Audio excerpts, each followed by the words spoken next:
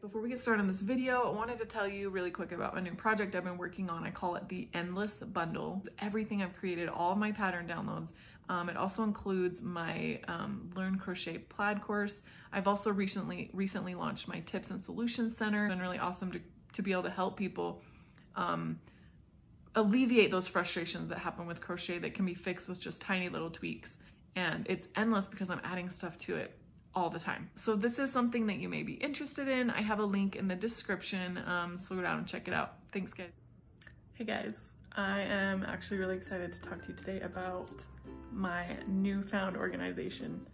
Up until now, I have been stashing things in totes under my bed. I have loads and loads of shelves in my garage when we had our baby, so before um, Cubby was born, we were just, I was using that third bedroom as my office and I had everything kind of sorted in the closet. Still wasn't ideal.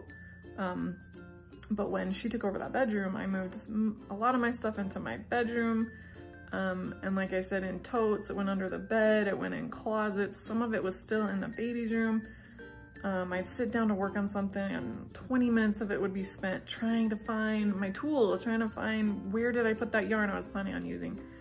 Um, but I think I've solved, I'm still cluttery, I'm still messy, but I've at least solved being able to find all of my tools. Let me show you the dream box. Yes, dream box, it is a dream.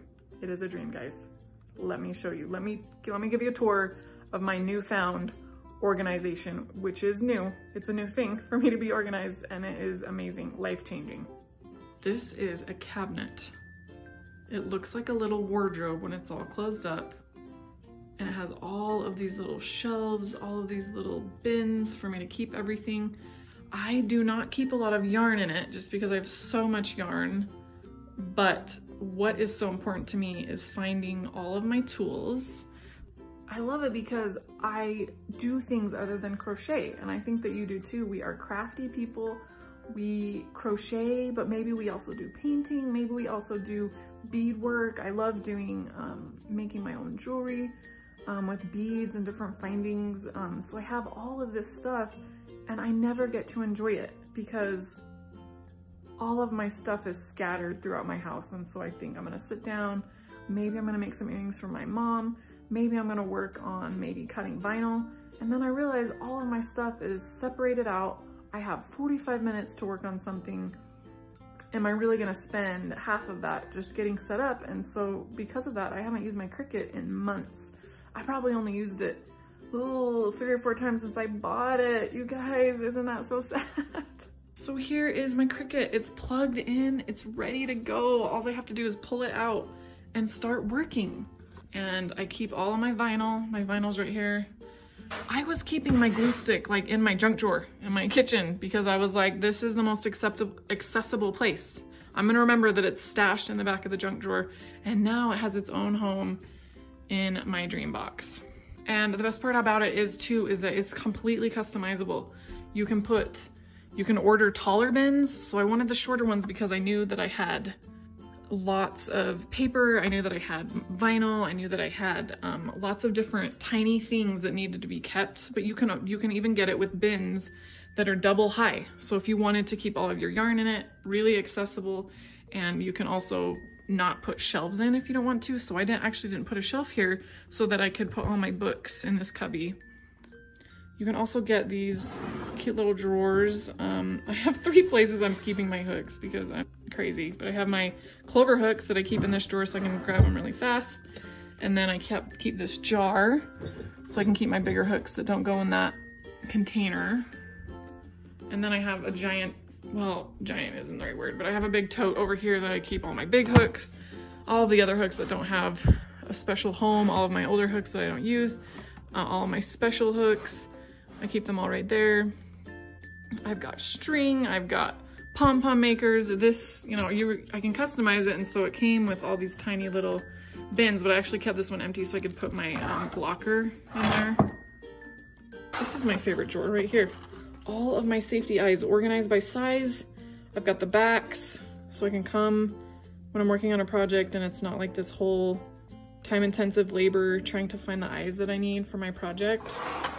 Over here I've stashed my numerous amounts of markers. Oh, I remember I remember a couple months ago I had misplaced this thing and I needed it for another project and I was just one day away, one shopping trip away from buying a new one because I couldn't find it and I finally found it and I'd stashed it in a bin with the last project I had used it with. So this is still gonna take some practice for me to put everything back where it goes, but at least now everything has a home. I have like my markers, my pens, little kid paintbrushes go right there. Down on this shelf I've got places to hang my scissors. I have clearly taken my scissors and not put them back, so still, still got some work to do. I also opted to get this um, extra shelf. So the, the regular version of the plain version of this comes with this middle shelf only that folds up when you put the cabinet away. This one you can also get, I mean, it creates like this nice L-shaped table so that I can, for instance, if I'm cutting on my Cricut, I can put my computer over there, um, all my materials and then I'm cutting on the Cricut and it's not in the way of anything. So the Cricut can have the whole amount of space. Another thing that I've always hated is just stashing my Cricut mats. I don't know, that long blue one I bought because I wanted to do bigger projects like maybe a wall decal or something. And then I had nowhere to put it. It was like stashed behind my desk, getting kind of bent. Um, anyway, so I installed like this little hook. It comes with hooks but it didn't have a hole for to put one in exact the middle. It had three and three. And so I installed one of these little, like a sticky hook and it just, it comes off, it's like damage free hook and I just put it in the middle. And now I hang all my Cricut things on it, my Cricut mats. So I have found a home for everything that was kicking around my bedroom. It was like I was stashing stuff everywhere, not being able to find anything, wasting time. Um, that time is so precious. And when I'm using that time, wasting that time because I can't remember where I put my thing, whatever thing it was, because it doesn't have a home, doesn't have a real home. Um, just, just having this organization is just so, um, I just feel like some clutter has been cleaned out of my head a little bit. The clutter out of my bedroom is really helpful. It's really, I think it's hard to look at clutter in a place where you're supposed to be relaxing. Um, my daughter is really, both my kids are really artistic and they come in and they're like, mom, where's the paintbrushes? Mom, where's the paint? And I'm like, mm, I know exactly where it is. It's in my dream box and it's over there and you can reach it and go get what color you want. It's just, it's just amazing. And now I have time to do those things that I love. I have time to sit down and create in a space that's meant for creation. So it's awesome.